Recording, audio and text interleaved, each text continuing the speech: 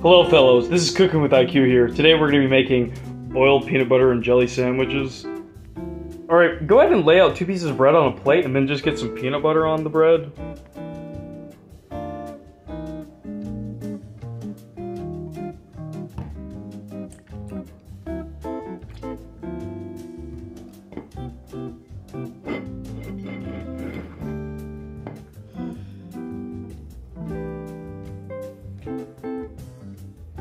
Alright, we're gonna have to use a different peanut butter.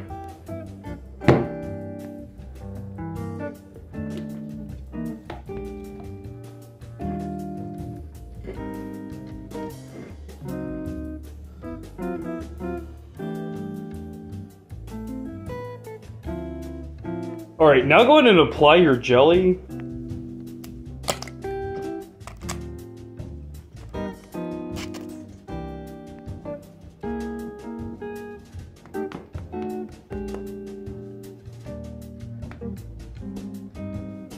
Alright, now that you have your sandwich ready, go ahead and boil up some water.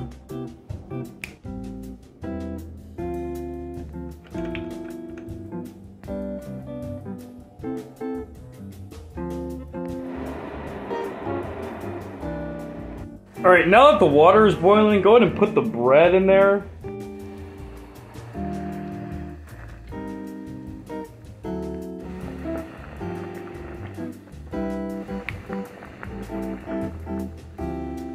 Alright, now that it's done simmering in the water for a bit, go ahead and put it back on the plate.